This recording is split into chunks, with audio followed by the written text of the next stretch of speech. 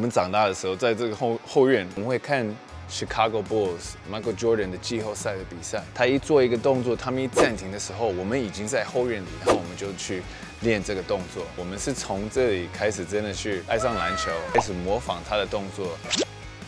钢琴，呃，是我全人生最强的对手吧。父母就一直想要我们成为非常好的，就很能弹钢琴。可是有时候你没有天分，你就没有天分。不管他们逼着我，不管我练多久，不管我们花多少钱，我还是就是基本上就不能进步。花了几年，五六七年，然后就觉得啊，我们不用强迫啦，就让他。追他的梦想，他真正的梦想就是篮球。从小在我们的家里面，一直能听到篮球一直在运，不管是去厕所，还是去洗碗，还是去丢垃圾，我们会必须要转身或者什么，就是都是把父母变成对手，必须要做一个漂亮的动作。有时候在他们身上去扣篮，这样子，我觉得。他们真的是很耐心的父母，不管我们做什么，肯定我们都在想篮球，篮球，篮球。我应该是我二年级的时候，然后我跟我哥哥跟。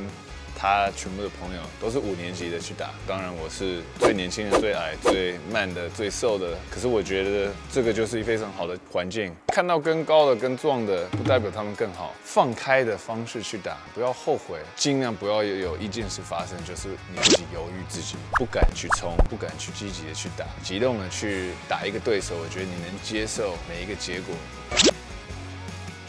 球篮球通常是比较靠一打一的方式去打，通常你不会有什么正式的战术或者防守的策略或计划，比较是靠单打的一种能力。你打职业篮球的时候，比较是团队的一种打法。我们打街球的时候要表演打得很夸张、很漂亮、帅，呃，然后打职业篮球肯定。只有一个目目标就是赢球，防守我要去抢篮板，什么什么都都愿意去做，比较不一样的一种心态。就是打接球的时候，必须要是好看的，让大家很嗨。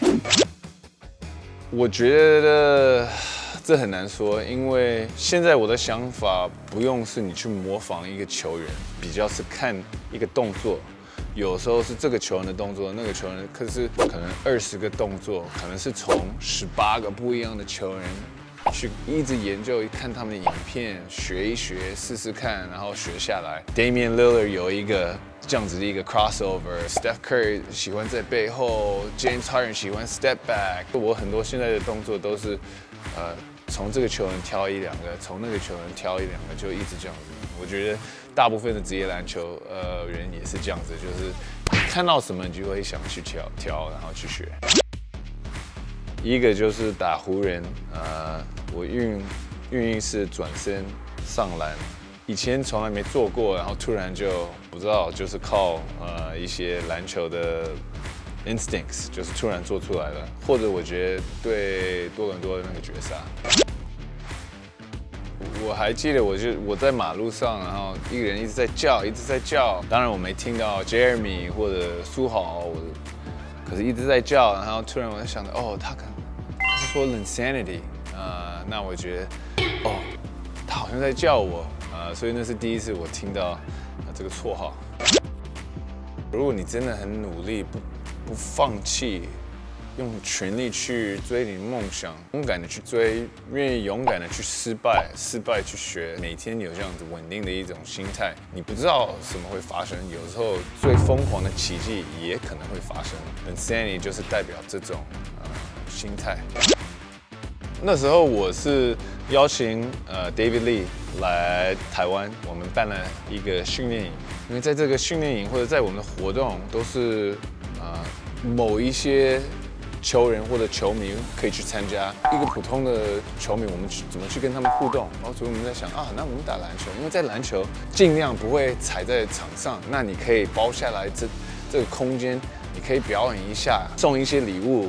拍一些内容，跟他们聊天，我所以我们就从这开始，然后我们就在想，OK，我们去打一接球。那时候我们都知道，我在纽约的时候我受伤了，我一直在康复。那我在新生桥打的时候，啊，突然我的训练师加炫他丢了一个 alley oop，然后我直接从左脚跳上去，然后扣篮了。那这样子我就知道，哦，我恢复了。那场比赛就是对我来说印象很深刻。对我们常常会打电动，或者看电影、玩游戏，或者或者打牌。在我们家庭，我们超喜欢吃饭，所以常常我们会去我们最喜欢的餐厅，或去找新餐厅。不管我们做什么，都是希望可以是我们家人跟最好的朋友在我们身边。最近在玩新的游戏，呃，全明星接球派对，让你们看一下，然后。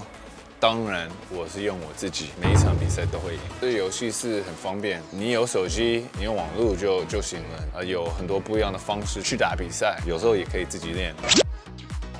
当然，我们玩的时候肯定是先叫队友传球给我，做一个动作上篮，来一个掩护，或者直接单打突破，都是不一样的方式去可以去打篮球。做的非常好，把我的肌肉变得更壮，所以这个是。很好的，不但是他们的衣服，他们的 leggings，全部的这些颜色配色都是我喜欢的。一开始的时候，他们也加了一个火影忍者的一个动作。我说的话，我我怎么去走路、跑步，我穿的衣服什么都是非常像。最喜欢用的是我自己，可是我最喜欢 PK 的是呃 Steph Curry，因为我觉得他是最好的后卫。他的三分球，你给一点点空间，他会投，不但是他会投，他也会进。然后，当然他运球也是非常棒，可以跟 LeBron、Yanis 防守防得很好，不但是这样子，速度能打得很快，他们两个也能冲。LeBron 什么什么角色什么都可以去做，Yanis 就是他下村的时候就非常有危险，这样可以跟跟跟我配的不错。啊，全明星接球派对是带来很多快乐。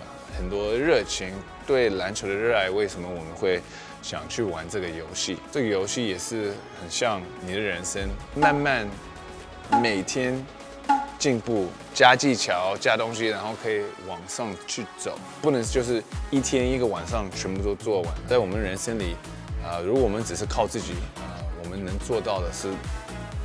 没有那么多，不但是自己控制自己，做好自己，也是要身边的很好的一些队友，我们相信，我们爱的人，他们也可以鼓励我们，我们也可以互相鼓励，一起在这条路去走，才会有比较高的一个上限可以去达到。这是唯一一款能让我找回最初的感动，感受到篮球带来的快乐。然后我希望你们都可以自己去找你们的 insanity，不要放弃追你的梦想。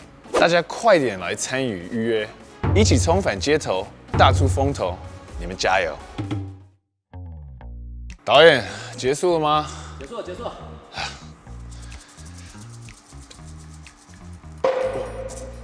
你们没拍到吧？有。好，那我去剪。